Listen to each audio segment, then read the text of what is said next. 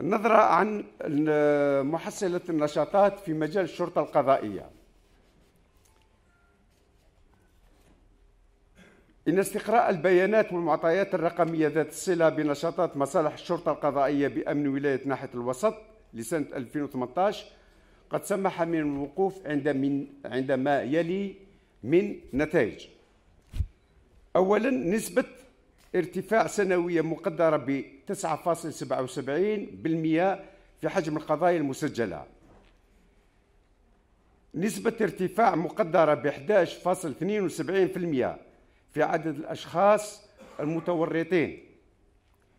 نسبة آه ارتفاع مقدر ب 15.77% بالنسبة للقضايا المعالجة.